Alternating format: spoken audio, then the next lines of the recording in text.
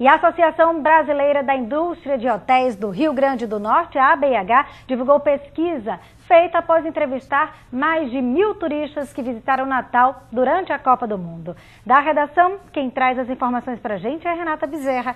Bom dia, Renata. E aí, bons números para a gente? Bom dia, muito bom dia a todos que nos assistem. Olha, a maioria dos entrevistados veio dos Estados Unidos, 25%. Em seguida aparecem os turistas mexicanos com 15% e os brasileiros com 14%. Nesse caso, a maioria veio do estado de São Paulo. A pesquisa mostrou ainda que 28% dos entrevistados permaneceram até duas semanas aqui na cidade. A pesquisa foi feita entre 13 e 25 de junho em 21 hotéis localizados na Via Costeira e em Ponta Negra.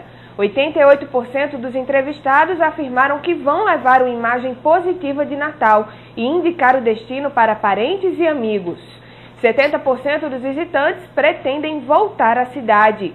Já entre os pontos negativos, muitos citaram a greve dos ônibus e as fortes chuvas.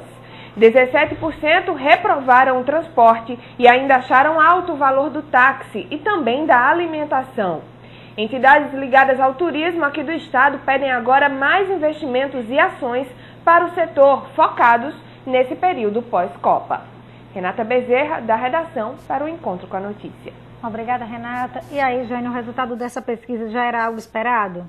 Esperado, repetido. Em essência, essa pesquisa não é diferente de outras tantas contratadas pela ABIH, essa mesma empresa, que vem repetindo algo que todos sabemos. A gente recebe bem, o turista gosta, quando ele gosta, ele diz que vai voltar, mas ela por si só não responde para essa avaliação que precisa ser feita sobre o efeito Copa aqui no Rio Grande do Norte.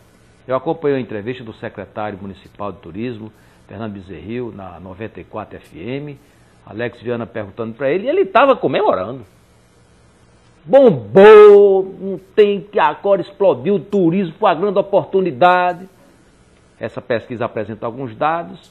A Fé Comércio amanhã está apresentando um novo levantamento, uma outra pesquisa na área do comércio, onde os resultados foram péssimos. Queda de vendas de até 50% em produtos comercializados nas ruas é, do, do, centro de Natal, do Alecrim, é, queda de 20% a 30% no negócio, no comércio por conta dos dias parados, do, do, desses problemas da greve dos motoristas de ônibus.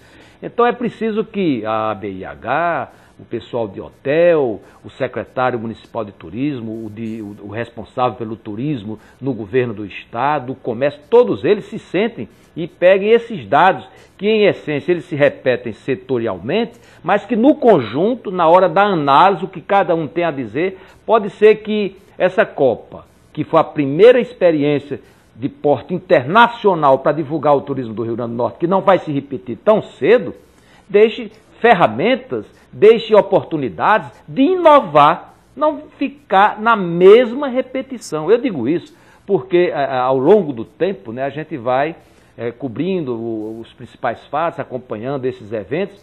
E quando eu vi essa pesquisa dizendo a mesma coisa que muitas outras anteriores, feitas praticamente com as mesmas perguntas e as mesmas respostas, para uma situação que exige muito mais do que isso, que foi o efeito, a realização da Copa aqui no Rio Grande do Norte, eu imagino também que aquele entusiasmo do secretário do município é um entusiasmo de secretário do município, então tem que criar os dados e planejar, para não desperdiçar essa grande oportunidade se repetindo.